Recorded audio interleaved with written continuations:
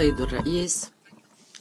شكرا على دعوتكم إلى عقد هذه المناقشة المهمة. كعضو في مجموعة السيتن تدعم الجزائر بقوة الموقف الأفريقي الموحد.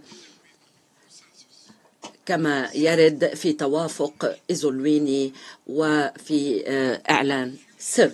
في ميثاق المستقبل قادة العالم أقروا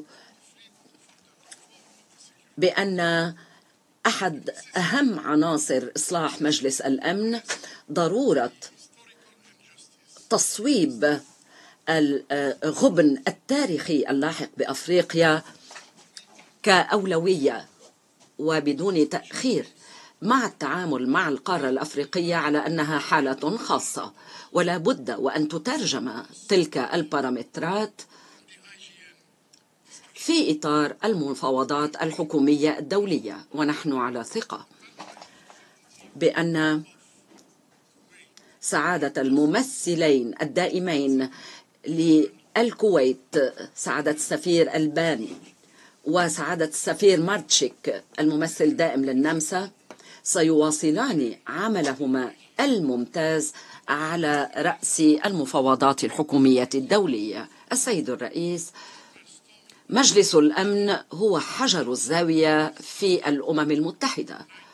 وقد أنشئ في العام 1945 وأنيطت به مهمة حفظ السلم والأمن الدولي الأمن الدوليين.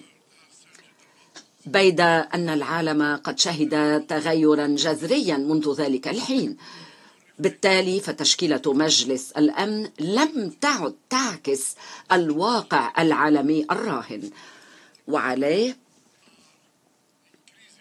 فإن آه، مشروعية المجلس ومصداقيته هما على المحك بشكل متزايد. فضمن التشكيلة الراهنة لمجلس الأمن ثمت خمسة أعضاء دائمين يحتكرون حق النقد الفيتو وهذا أمر لا يعتبر تمثيلا صحيحا والمجلس يعجز بشكل متزايد عن الوفاء بولايته. وإذ نتحدث فإن جريمة إبادة جماعية ترتكب بحق الشعب الفلسطيني والعدوان قد شن وبدأ منذ ما يزيد على السنة وقد ازدادت حدته ونطاقه الجغرافي كذلك. قد اتسع. وهذا وبذلك فقد أمس لبنان أيضا عرضة لهذا العدوان. غير أن مجلس الأمن لم يتمكن حتى الساعة من وقف هذا العدوان. وكدولة عضو راهنا في مجلس الأمن تشهد الجزائر بشكل مباشر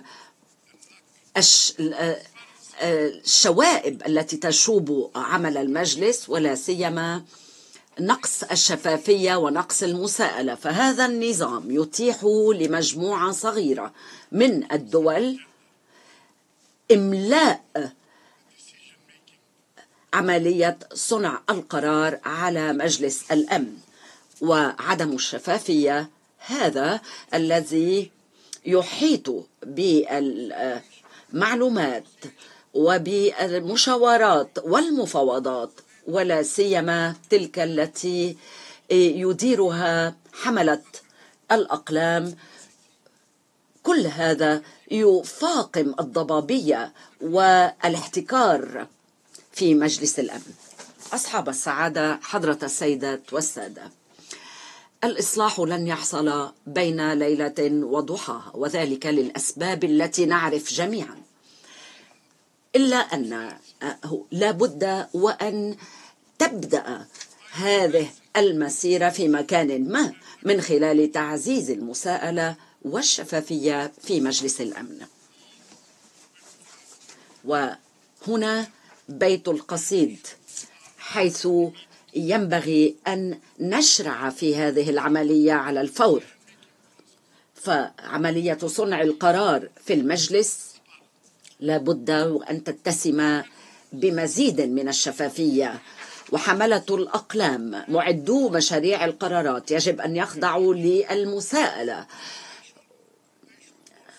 عما يقومون به وينبغي أن يتحلوا بعدم الانحياز. وأن يكونوا ملتزمين الحياد عدم الانحياز والشفافية. إن مثل هذه الدول هي من ينبغي أن تكون من حملة الأقلام. وفضلا عن ذلك فسوء وعدم كفاية تمثيل أفريقيا ومناطق أخرى هو مدعاة شواغل بشأن التفاوت بين التعامل مع المجموعات الإقليمية في التعامل مع المجموعات الإقليمية. ولا بد وهذا ما يحول دون فهم الأسباب الجذرية للنزاعات والاستجابة للمنظور الإقليمي. قدمت طروحات ومقترحات عدة بشأن الإصلاح في السنوات الأخيرة. ولكل منها عناصره وأهميته مما لا شك فيه أن عملية الإصلاح معقدة للغاية إلا أن الحاجة إلى التغيير وإلى التغيير السريع هو أمر بديهي. ختاما السيد الرئيس